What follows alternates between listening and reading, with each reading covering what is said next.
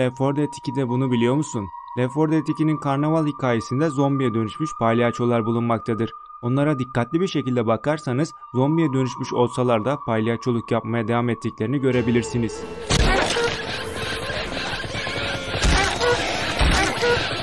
Peki sen